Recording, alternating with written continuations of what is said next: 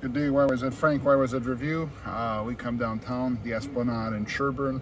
This is right downtown. Um, Bellissimo Pizza um, on the Esplanade. Uh, I was told this by a friend. I don't even know if he watches my videos, but shout outs to Kevin, the professional photographer.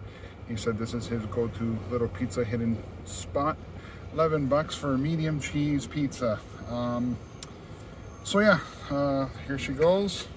Looks like your standard pie. There she goes. Cheese. Um, price point not bad, I guess, for the city of Toronto. Let's see how she is.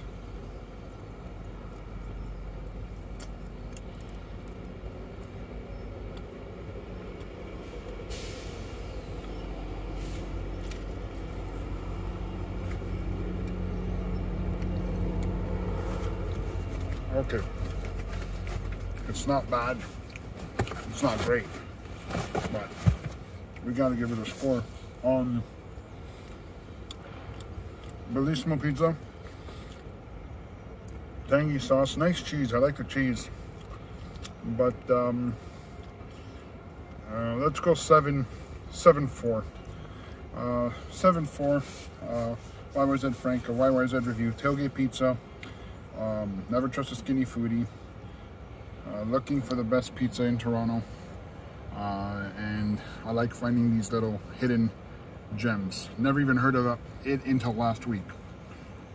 Shoutouts to all the fans, subscribers, and guys, if I take one extra bite, like what's the big deal? People keep on complaining that wasn't two bite, that was three bite. Anyway, comment, like, share, subscribe. Again, thanks for watching. Never trust a skinny foodie. Have a good day.